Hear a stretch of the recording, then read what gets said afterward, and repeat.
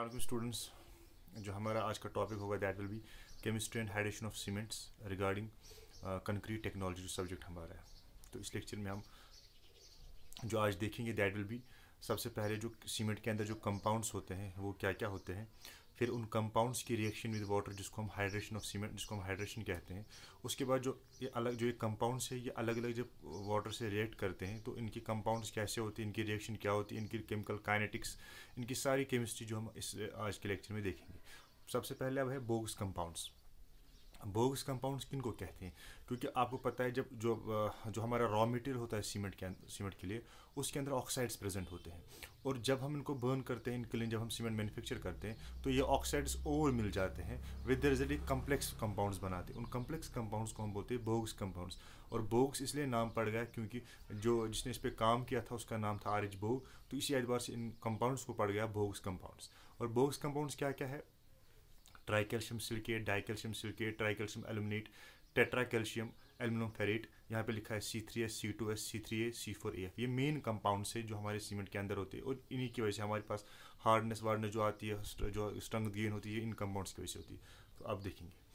तो ये है, उसके बाद बोग्स कंपाउंड कौन सा जो बोग, जो कंपाउंड है, उसकी परसेंटेज में मास इन सीमेंट कितनी है? For example C three S it is thirty two fifty percent C two S इतना है सी सी थ्री इतना है. तो यहाँ हमें दिखाया गया है परसेंटेज उसके बाद जो हमारा टॉपिक होगा that will be hydration of cement hydration किस चीज़ को कहते हैं? कि जब आपने सीमेंट को पानी के साथ मिला दिया, वहाँ पे केमिकल रिएक्शन होती है। उस उस केमिकल रिएक्शन की वजह से हमारे पास सीमेंट हार्ड होता है, उसके अंदर जो हीट एवोल्यूशन वो सारा उस प्रोसेस को हम कहते हैं हाइड्रेशन ऑफ़ सीमेंट और यही एक मेन जो है सोर्स है, जिसकी वजह से हमारा सीमेंट जो है सेट हो रहा है हार्ड हो रहा है that is because of the hydration अब हाइड्रेशन को अगर हम डिफाइन करेंगे it's a collectively term use for physical as well as chemical process जो किसमें पार्ट जो है, हो रहे हैं बिटवीन वाटर एंड हमारे सीमेंट को। तो ज्यूरिंग हाइड्रेशन होता क्या है? Silicates and aluminates are produced उनकी वजह से क्या हो जाता है? उनकी वजह से एक हार्ड मास बन जाता है। उस हार्ड मास को हम कहते हैं हाइड्रेटेड सीमेंट और ऑब्वियसली जब आप देखोगे रिएक्शंस जो हाइड्रेशन ऑफ़ सीमेंट होता है it's exothermic process that means during during the hydration of cement जो हीट इज़ इवॉल्व तो विद द रिज़ल्ट ये एक एक्सोथर्मिक प्रोसेस है ठीक है ना? तो और, दूसरी चीज़ है कि हाइड्रेशन हमारा तब तक रहता है जब तक हमारी सीमेंट के अंदर मॉइस्चर जो दैट इज़ पानी और उसके बाद हीट रहती है। अगर हमारा पानी नहीं रहा विद द रिज़ल्ट पानी नहीं रहा तो सीमेंट हाइड्रेशन कैसे करेगा? इसीलिए आप देखते हो क्योरिंग की जाती है क्योंकि क्योरिंग इसलिए की जाती है ताकि जो कंक्रीट के अंदर जो पानी या मोतार के अंदर जो पानी है वो रहे ताकि हमारे पास हाइड्रेशन हो जाए। इसलिए आप देखते हो जो मेसन्स होते हैं वो अपने मज, जो मजदूरों के जब वो ब्रिक वर्क करते हैं वो मजदूरों को कहते हैं इस ब्रिक को पहले डिप कर दो पानी में।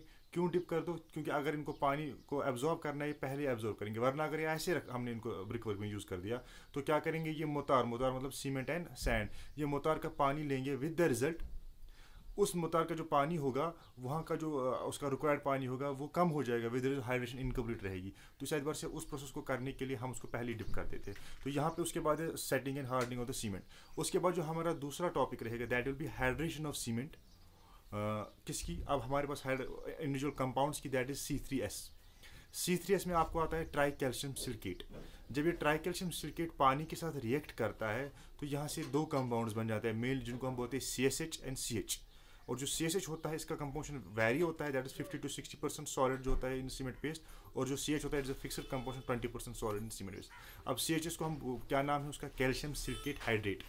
ये प्रिंसिपल हाइड्रेशन प्रोडक्ट है, ये जो मेन प्रोडक्ट है हाइड्रेशन का दैट इज़ सी उसके बाद हमारे पास इसकी जो फॉर्मूला लिखा है is appropriate because the composition of C मैंने जो आपको अभी कहा वेरिएबल है। और दूसरी चीज़, जो हमारे पास ये है C H crystalline matter has a fixed composition अब ये देखिए आप, यहाँ पे दिखाए गए हैं माइक्रोस्कोपिक व्यू ऑफ़ दिखाया सी एस जेल और यहाँ पे दिखाया सी एच जो कंपाउंड्स होते हैं, उनके हमें थोड़ा आपने दिखाया डायग्राम डायग्राम के लिए दिखाया गया उसके बाद जो हमारे पास है that is stage of hydration of C three S इसकी स्टेज क्या होती है? आप देखिए, जब ये graph time versus rate of heat evolution जो दिया गया है, इसमें पाँच स्टेजेस हो रही है। Stage one stage two stage three four five stage one में अगर आप देखोगे, ज़्यादा ये जो हीट ज़्यादा इवॉल्व जो है इवॉल्व हुई है। विद रिज़ल्ट कुछ 10-15 मिनट में आप देखेंगे, ज़्यादा हीट इवॉल्व आप देखिए इसके, अगर हम देखेंगे, यहाँ स्टेज वन में आप देखिए it's a period of rapid evolution of heat which cease within fifteen minutes और उसके बाद स्टेज टू डॉर्मेंट अगर आप वापस देखेंगे पुराने आप देखिए डॉर्मेंट स्टेज टू में आप देखिए कुछ नहीं हुआ हीट इवॉल्व ये डॉर्मेंट फ़ेज़ रहा है। उसके बाद फिर से स्टेज थ्री में इंक्रीज हुआ है टू द मैक्सिमम हीट उसके बाद फिर से डिक्रीज हुआ, उसके बाद स्टडी हुआ तो ये हमारे पास इसमें पाँच स्टेज जो है हमारे पास चार स्टेज आती है, और स्टेज फाइव है स्टेड स्टेट तो यहाँ पे आप देखेंगे एक्सेशन हो जाती है, फिर डेक्सेशन स्टेज हो जाती है। अब उसको हम अच्छी तरह से देखेंगे। अब इस सीथेस के अंदर एक इंपॉर्टेंट चीज़ होती है that is chemical control chemical control का मतलब क्या होता है? जब हमारे पास सीथेस जो हमारा पानी के साथ मिल जाता है, दो चीज़ें बन जाती है, जो आपने अभी देखा C S H and C H जल जो बन जाते हैं, ये हमारे पी एच को इंक्रीज कर देते हैं up to twelve within few minutes इस इस इस जो है पी एच का बढ़ना, ये हमारे पास, इसको हमें कंट्रोल करना है जिसको हम कहते हैं केमिकल कंट्रोल इस केमिकल कंट्रोल को हम क्या करते हैं?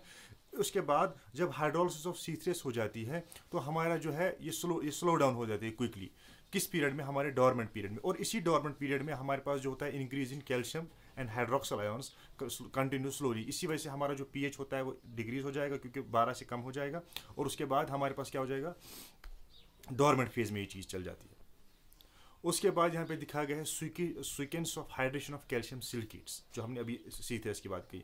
यहाँ पे पाँच स्टेज में बोला गया है कि कौन स्टेज की उसकी काइनेटिक ऑफ़ रिएक्शन क्या थी उसने उस वक्त क्या केमिकल प्रोसेस किया था और उसकी रेलिवेंस टू कंक्रीट प्रॉपर्टी मतलब इनशार हाइड्रोल जब हुई इसका इसका जो रिलेशन है what is that with the concrete properties डेक्सेशन का जो, ये, क्या बोलते हैं उसका हमारे पास ये ये चीज़ क्या कर रही है relevance with the concrete property जैसे यहाँ पे मैं डेक्सेशन को बोलूँगा।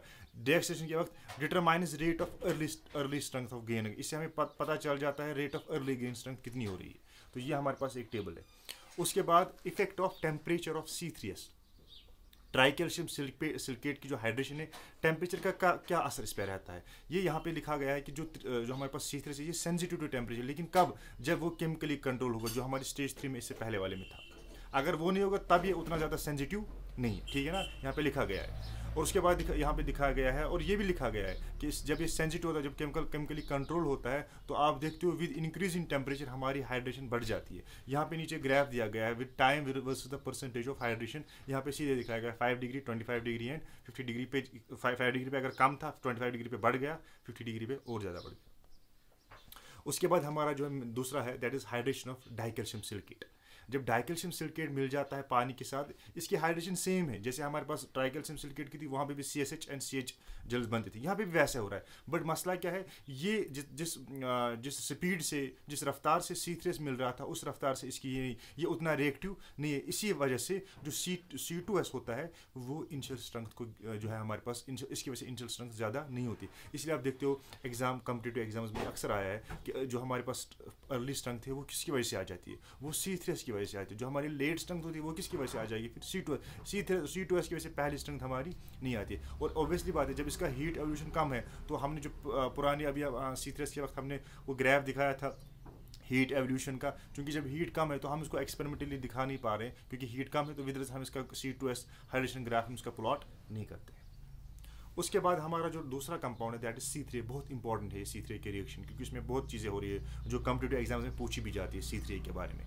अब जो सी थ्री होता है, ये सी थ्री किसके साथ रिएक्ट करता है? ये रिएक्ट करता है मोस्टली विद सल्फेट आयन्स पानी के साथ भी रिएक्ट लेकिन उसके साथ साथ इसके अंदर होना, इसके साथ किसके साथ रिएक्ट करता है? सल्फेट सल्फेट आयन अब सल्फेट आयन कौन देता है हमें? हमें जिप्सम देता है, जो हम सीमेंट की मैन्युफैक्चर के वक्त डालते हैं सीमेंट के अंदर जिप्सम वो सिलिकेट आयन देता है विद द रिज़ल्ट उसके साथ ही रिएक्ट करता है। अब आप यहाँ पे रिएक्शन देखिए।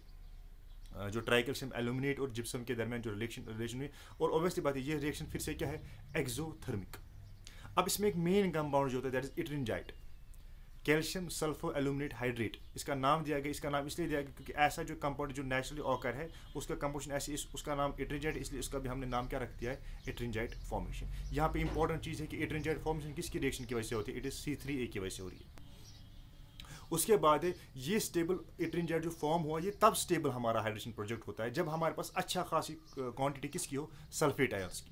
और उसके बाद हमारा formation of ettringite formation slows down ये कम कर रहा है बाकी इंटरजेट फॉर्मेशन को फॉर एग्ज़ाम्पल बना कुछ पहले इंटरजेट लेकिन बाकी कोई इस कम कर रहा है, बाकी का बनना इसलिए कम कर रहा है, क्यों? क्योंकि जब ये क्रिएट हो रहा है, ये एक डिफ्यूजन बैरियर क्रिएट करता है। ये सी थ्री जो अनहाइड्रेटेड सी थ्री है ना, उसके इर्द गिर्द एक डिफ्यूजन बैरियर क्रिएट कर देता है। विद द रिज़ल्ट हमारी हाइड्रेशन सीज हो जाती है, जो हमारा डॉर्मेंट पीरियड हो जाता है या कम हो जाता है, उस, क्या हो जाता है यहाँ पे इंटरजेट फॉर्मेशन एक बैरियर खड़ा कर दिया है। और दूसरी चीज़ के बाद जो आप दूसरा पॉइंट देखोगे, अगर हमारा सल्फेट होगा कंज्यूम हमारे पास सल्फेट जो सीमेंट में था, वो पहले ही कंज्यूम होगा लेकिन अभी सी थ्री अनहाइड्रेटेड है, पूरा सी थ्री हाइड्रेट नहीं हुआ है। तब क्या होगा? ये जो इट्रिंजेट बन जाता है, ये अनस्टेबल हो जाता है। और अनस्टेबल के बाद ये किसमें कन्वर्ट हो जाता है? कैल्शियम सल्फो एलुमिनेट हाइड्रेट ठीक है ना? जिसके पहले भी यही था, पहले भी यही उसका वही था कैल्शियम सल्फ़र एलुमिनेट लेकिन उसमें उसमें क्या फ़र्क है? इसमें आप देखेंगे, इसमें सल्फेट आयन्स कम हो गए containing less sulphate ions through the following reaction आप देखिए रिएक्शन यहाँ पे दिखाया गया। जो ये प्रोडक्ट इसमें बन गया, इसको हम सिंपली कहते हैं मोनो सल्फो एलुमिनेट पहले सल्फेट सल, जो सल्फेट आयन्स थे वो ज़्यादा थे लेकिन जब ये बैरर हो गया रिएक्शन पूरी नहीं होगी तो इसके अंदर डिसोसिएशन हो गई। ये इंटरजेट ब्रेक हो गया। ब्रेक के बाद इसने क्या बना दिया? इसने बना दिया मोनोसल्फो एलुमिनेट मोनोसल्फो एलुमिनेट मिनी जो है ये कभी इटनजेट से पहले भी बन सकता है। सल्फ अगर हमारे पास इनफ हमारे पास सल्फेट आयन्स हो ठीक है ना? उसके बाद है हमारे पास इसी का कंट्रीब्यूशन ये जो इसी के हम रेशन को आगे चल रहे जो डिफ्यूजन बैरियर बन गया किसके दरमियान? इटनजेट को। ये किससे ब्रेक होता है? ये ब्रेक होता है from ettringite to mono sulpho aluminate और उसकी वजह से क्या हो जाता है सल्फेट आयन और ज़्यादा मिल जाते हैं। विद रिज़ल्ट वो सी थ्री के साथ रिएक्ट करके रैपिडली और हमारे पास हाइड्रेशन हो सकती है। ठीक है ना? फिर एक और चीज़ यहाँ पे दिखाया गया है कि व्हेन मोनोसल्फर एल्यूमिनेट जब ये ब्रॉड होते हैं country with new source of sulphate aluminates external source जो आप एक्सटर्नल को दे सकते हो और सल्फेट आयन क्या हो जाता है जो अभी ये ब्रेक हुआ था, ये फिर से वापस रिजेनरेट होकर इट्रिंजाइट फॉर्म फॉर्म करता है। तो आप देखिए क्या हुआ इट्रिंजाइट ने पहले क्या कर दिया ब्रेक कर दिया अपने आप को, किस लिए कर दिया, ताकि इसको, बाकी आयन्स को वो हाइड्रेट हो जाए। उसके बाद ये ओवर सल्फेट आयन मिल गया। एमिड फिर से बना दिया ettringite. This potential of reforming ettringite is based the sulphate attack base of sulphate attack of Portland cement इसका मतलब है कि जब हमारे पास जो हमारा सीमेंट होगा, जब ये सल्फेट अटैक के साथ जब उसको जो एनवायरमेंटल जो एनवायरमेंट होगा, अगर उसमें सल्फेट आयन्स होगी तो क्या हो जाएगा? ये रिफॉर्म कर देगा इट्रिनजाइट फॉर्मेशन को, क्योंकि उसको सल्फेट आ रहा है विद रिज़ल्ट जब मोर सल्फेट आएँगे, ये खुद से फिर से क्या बन जाएगा? इट्रिंजाइट फॉर्म ठीक है ना? अब इंपॉर्टेंट चीज़, जो बहुत इंपॉर्टेंट चीज़ पूछी जाती है एग्ज़ाम में। अगर आपने जिप्सम ऐड नहीं किया सीमेंट में क्या होगा? जो ये सी थ्री होगा ये जब वाटर से रिएक्ट हो जाएगा ये एक कंपाउंड बनाएगा और फ्लैश सेट हो जाएगी। बिल्कुल विद इन नो टाइम हमारा जो ये सीमेंट हो जाएगा वो या कंक्रीट हो जाएगा वो सेट हो जाएगा। क्या हो जाएगा? सी थ्री जब हाइड्रेट हो जाएगा तो यहाँ से कंपाउंड बनेगा। और ये कंपाउंड स्टेबल ये फिर लेटर दूसरे कंपाउंड दूसरे जो है कंपाउंड्स में आ, क्या उसको ट्रांस चेंज हो जाते हैं। जो यहाँ पे लिखा है C three A H six hydro hydro grenade grenade जिसको हम कहते हैं, ठीक है ना?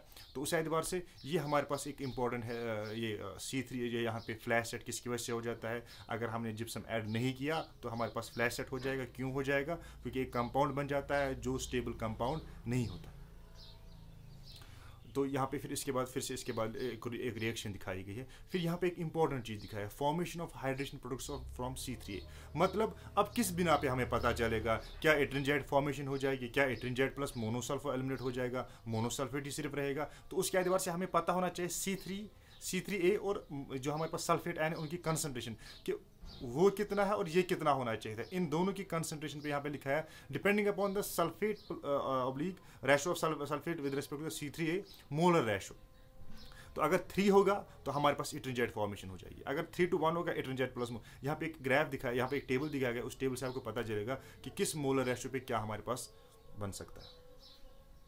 फिर इसके बाद इसी की जो हमने वहाँ पे दिखाया था time versus rate of heat evolution आप देखिए सी थ्री लुक्स सिम जैसे वहाँ से पहले था पहले जो कुछ टाइम है, दस टू पंद्रह मिनट हमारी जो हीट एवोल्यूशन है, बहुत ज़्यादा हो रही है। लेकिन उसके बाद रिड्यूस हो रही है। रिड्यूस क्यों हो रही है? क्योंकि उस, पहले हाइड्रेशन हो रही थी, लेकिन जो ही हाइड्रेशन के वक्त इट्रेंजाइट बना, उसने बैरियर कर दिया क्रिएट उस बैरियर की वजह से फर्दर हाइड्रेशन नहीं हो रही है। विद रिज़ल्ट आप देखिए, यहाँ पे इस पोर्शन में आप देख रहे टेन टू ट्वेंटी में हमारे पास क्या हो रहा है? हमारे पास स्लो डाउन हो रही है हमारी ये, क्या बोलते उसको हीट एवोल्यूशन उसके बाद monosulphate element and all this has been used for the ettringite जब हमने इसको कर दिया, उसके बाद फिर से आप देखिए यहाँ पे लिखा है the more gypsum there is cement the longer the ettringite will be stable अगर हमारे पास जिप्सम ज़्यादा होगा वैसे सल्फेट एन ज़्यादा होगा तो वो वो हमारे पास स्टेबल कंपाउंड रहेगा। और in most cement ettringite remain stable condition for a period of twelve to thirty six hours यहाँ पे देखा फ़र्स्ट पीक और उसके बाद हमारे पास जो ही इटरजेट फिर से मोनोसल्फेट में कन्वर्ट हो जाता है, फिर वो फिर से रिएक्ट करता है, फिर से हमारा सेकंड पीक आ जाता है जहाँ पे दिखाया गया है सेकंड पीक ठीक है उसके बाद जो हमारा लास्ट है that is hydration of tricalcium aluminium ferrite जो हमारे पास तीसरा है, आप देखिए इसकी रिएक्शन ये क्या, इसकी जो रिएक्शन है that is same as if C three जैसे अगर वो सी थ्री एक्ट करता था विद और विदाउट जिसमें वैसे ये भी कर रहा है, ठीक है ना? लेकिन इसका जो है, इसकी जो जैसे C two S C two S की इसी तरह इसकी भी है। इसकी रिएक्शन जो है स्लोवर है और इसमें लेस हीट इन्वॉल्व होती है। ठीक है ना? और यहाँ पे लिखा गया है कि जैसे सी थ्री कर रहा था ना, क्या बोलते उसको, ये फ्लैशेट उस, वैसे सी फोर ए हाइड्रेट नहीं होता है। ये क्या बोलते उसको फ्लैशेट नहीं कर देते अगर और अगर आप उसको जिप्सम ऐड करोगे, वैसे रिएक्ट करेगा, जैसे सी थ्री रिएक्ट करता है, वैसे ये भी रिएक्ट करेगा। और उसे ज़्यादा ही रिएक्ट ड्रस के लिए उसे रिएक्ट और यहाँ पे दिखा गया, अगर आपने आयरन को बढ़ा दिया ना सी फोर ए एफ़ में तो क्या हो जाएगा? Hydration of C four A F slower हो जाती है। और दूसरी इंपॉर्टेंट चीज़ है ये यहाँ पे बोला गया है कि प्रैक्टिकल एक्सपीरियंस हम जो हमने देखा है सीमेंट के एतबार से, हमने देखा है कि जिस सीमेंट में लो सी थ्री होगा और high C four A F होगा, वो सल्फेट वो है that are resistant to the sulphate attack ये आपको समझ आना चाहिए, क्योंकि वहाँ पे आपने देखा, अगर सल्फेट आयन उसको मिलते हैं तो वो इटन जेट और फॉर्म कर लेता है और फॉर्म करते विद रिज़ल्ट वो ठीक नहीं है सीमेंट के लिए। यहाँ पे लेकिन आप देखिए कि अगर कहा गया कि हमने एक्सपेरिमेंट देखा सी थ्री अगर कम होगा और सी फोर ए एफ़ ज़्यादा होगा तो हमारा रेजिस्टेंट टू सल्फेट अटैक ज़्यादा होगा।